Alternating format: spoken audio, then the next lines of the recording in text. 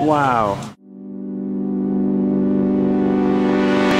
Nepal suffered a crazy earthquake last year, so today I'm going to see the remnants of it, and that's day 52. The biggest surviving building in Kathmandu. Is there any buildings that did not survive? Quite a bit. Okay, this house so completely sad, collapsed. Wow.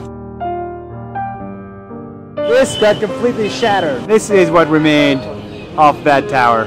That became this. And these are the missing pieces. Most of the houses are being built with bricks, no concrete. And that's why they collapsed. Exactly, most of the time.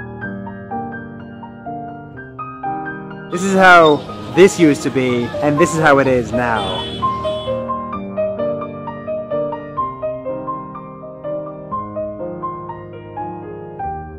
Nepal, get well soon.